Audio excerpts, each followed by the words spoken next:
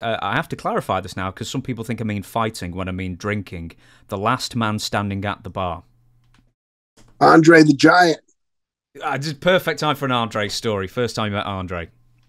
Andre story. I mean, Andre the Giant. There's nobody could outdrink Andre. I mean, you know, guys could drink. A lot of guys are heavy drinkers.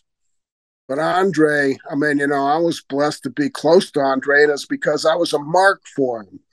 I mean, when I first met Andre, I was just a kid in the dressing room, and I warmed up to him because it, he was the coolest guy in the dressing room. He was the coolest looking. He was he was a freak. And at first, you know, it's like in the dressing room, I wanted to try on his ring. I wanted to try on his boots. I want to try on your tights. I want to try and just put the stuff on it. Look like it's in my dad's clothes. And then, you know, it was it was warming up, but he knew that I just liked him. I mean, you know, and he, we, him and I became really close. But Andre, when he'd travel with you, I mean, he would drink a bottle of that Crown Royal on the way to the show. He had more of those little purple bags that that stuff came in, and he could wrestle on, drink a whole bottle of Crown Royal and wrestle. And then afterwards, when you stopped to get beer, he wanted to buy a case. And I'm going, brother, it's only 80 miles from Orlando to Tampa. He says, Oh, I need a case. I said, okay.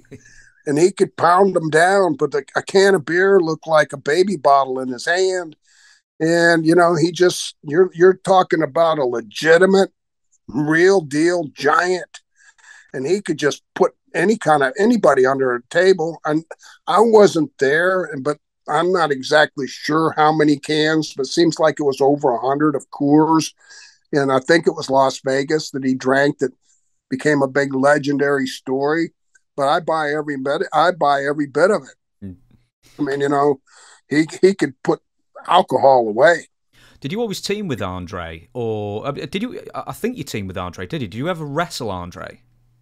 Oh no, no, I never did. I mean, you know, I'd have made him look like a million dollars, but that would have, would have been easy because he was a million dollars. Mm-hmm. But I was always partners with them when they would bring him in, and you know, it's it was a great shot in the arm for me, but it, it was a job. My job was to sell, get let the heels get the heat on me, and then give Andre the big hot tag, and that was my job. And there was, I'm, you know, I took pride in it.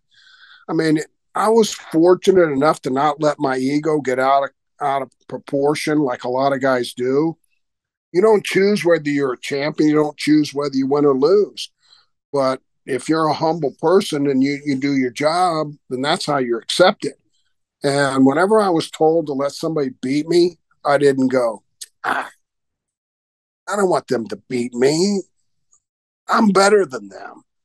I would do it with grace and with pride and say, you know what?